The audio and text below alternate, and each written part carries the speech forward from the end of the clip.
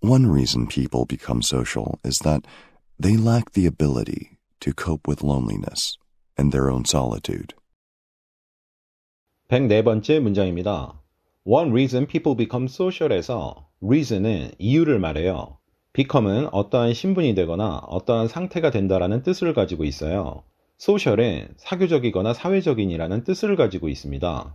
그래서 one reason people become social은 사람들이 사교적이 되는 한 가지 이유라는 의미가 됩니다.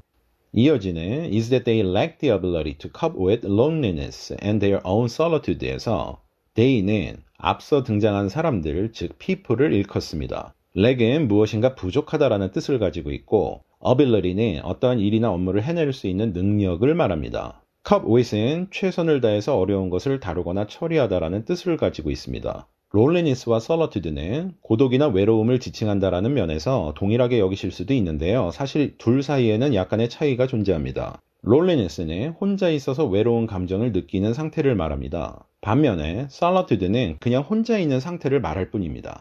다시 말해서 혼자라고 해서 꼭 외로움을 느끼고 있는 상태라든가 그런 것이 전혀 아니에요. 혼자 있어서 즐거움을 느끼고 있는 상태일 수도 있습니다. 혼자라고 해서 꼭 외로움을 느끼고 있는 상태라고 할 수는 없어요. 그래서 solitude는 그냥 혼자 있는 상태를 말할 뿐입니다. 그래서 they lack the ability to cope with loneliness and their own solitude라고 하면 그들은 외로움과 고독한 자신의 대처할 능력이 부족하다라는 의미가 됩니다. 그리고 이 문장은 전체 구조가 A is B라는 형태를 지니고 있어요. 이는 A가 곧 B라는 동등함을 표현하는 구조입니다.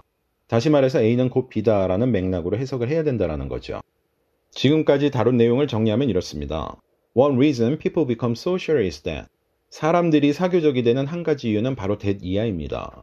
They lack the ability to cope with loneliness and their own solitude. 그들이 외로움과 고독한 자신에 대처할 능력이 부족하기 때문입니다. 따라서 이 문장은 사람들을 사교적으로 만드는 것은 외로움과 고독한 자신을 견뎌낼 능력의 부재 때문이다라고 해석할 수 있겠습니다.